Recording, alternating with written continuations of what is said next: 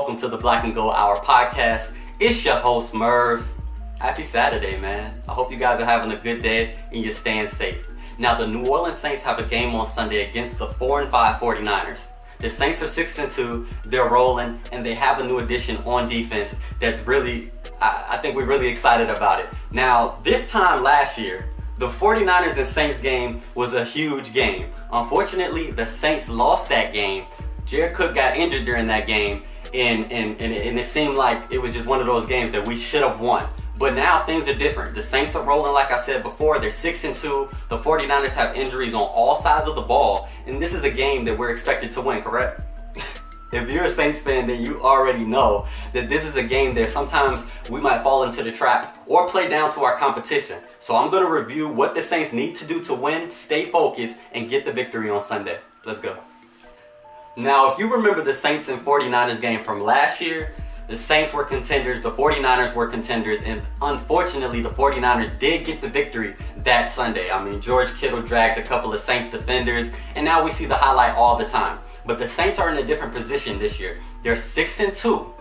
They're looking good. The 49ers are 4 and 5 right now and have so many injuries. Nick Bosa, Richard Sherman, Ansah, Jimmy Garoppolo. There are so many questions with that team. But one question that no one has to ask is how good Kyle Shanahan is as an offensive coordinator. He's a mastermind and he's going to create havoc for the Saints defense and they have to be prepared. So I'm going to take a look at how the defense can, can execute and stop Kyle Shanahan and the offense as well. Starting with the offense, they're looking good, man. Drew Brees, I've seen so much, you know, love for Drew Brees on TV. He's still an elite quarterback. He's still Hall of Famer. You weren't hearing that at the beginning of the season. You were hearing noodle arm. He's he's lost a step. Drew Brees is looking good. And on the Rich Eisen show, Drew Brees sounded angry. He sounded focused. If you follow me on Twitter, I reposted the video at Merv underscore speak.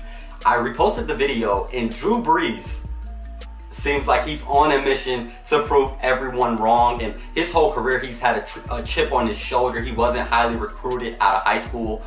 And, and right now, Drew Brees is playing great. His uh, efficiency is the highest in the league.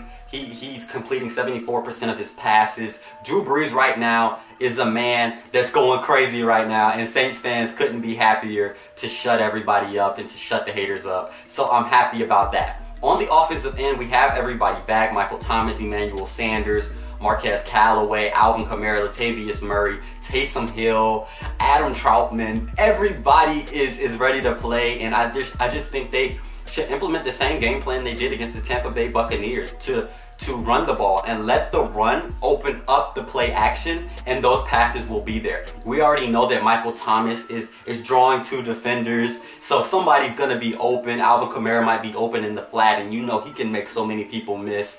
Emmanuel Sanders might be, you know, open in the middle, and he he's an electric playmaker as well. Jared Cook which may have a big game again because they couldn't stop him last year, and I doubt they can stop him this year. He might be the player to look out for this week. Jared Cook, remember that. He might have a, a be able to, you know, create some mismatches. He's fast. He he's like a wide receiver with a little bit bigger build. So I think Jared Cook will have a good game this week, and I definitely want to see Latavius Murray continue to get the rock and he's getting five and six yards, it seems, per carry. So I'm definitely excited to see Latavius Murray get involved and Jared Cook. Um, definitely, I think Drew Brees will be looking for him. He did have a, a fumble and a drop last week, but I mean, Jared Cook is a beast. We know his potential and we know how high his ceiling is, and he's one of the best at his position in the league. And I think that they're going to have a hard time matching up with Jared Cook because he, he's such an athletic, fast, and speedy tight end um, kind of like George Kittle, their tight end. Um, he creates so much havoc as well.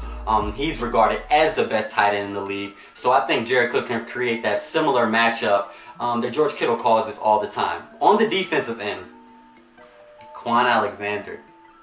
Like, at first, and I think I tweeted it, I said, I'll take that with Kwon Alexander. I was like, okay, he's gonna add some some a piece to this defense that wasn't there before.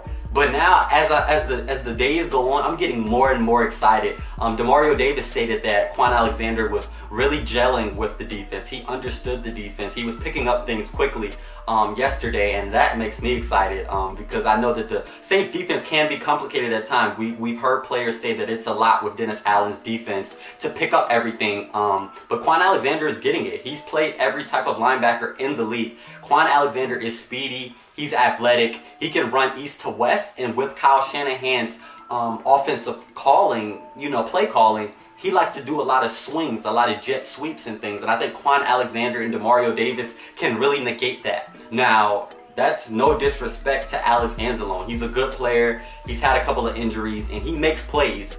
But I think Kwon Alexander is type of player that I was talking about earlier this season when I said the Saints have talented players and they make plays, but we need someone that's known as a playmaker. And Kwon Alexander is a playmaker. He's talented. He has all of the above. And I think he'll mesh well with this Saints defense. And I think him and Alex Anzalone may rotate. And I think he'll eventually take Anzalone's spot. But I definitely want to see him get involved. And I definitely want to see him you know, play well tomorrow because he is going to play. Nick Underhill did tweet earlier today that um, Kwon Alexander is expected to play. So that's a player that we really want to see.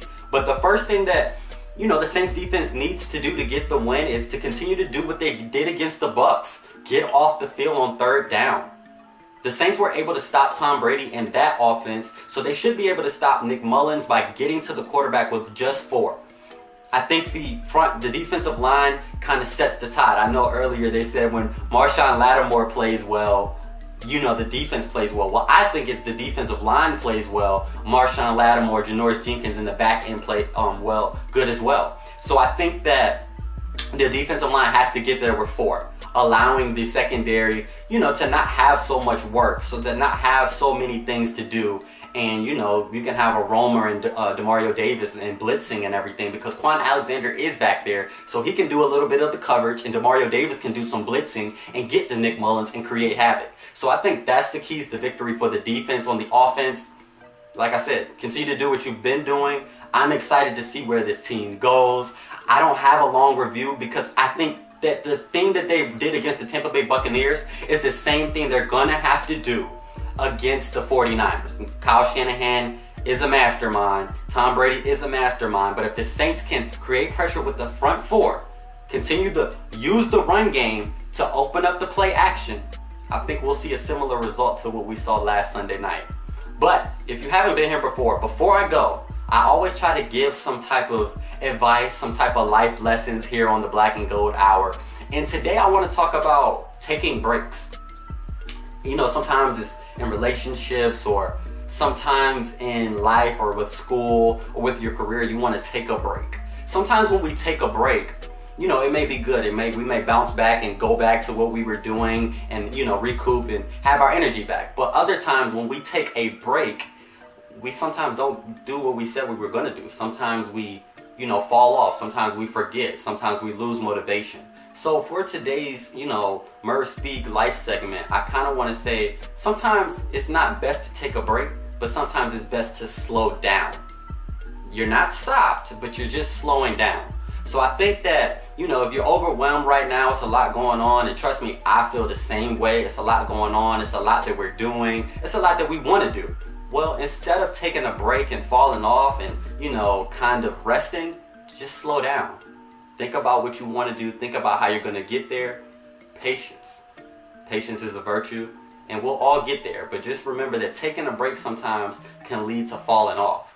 Slowing down can lead to, you know, renewed energy and renewed mind. So just think about that and I hope that really, you know, touched somebody today. But that's this week's episode of the Black and Gold Hour. We will be back Monday to review what we saw on the field on Sunday. But you guys have a great day. Happy Saturday. Peace.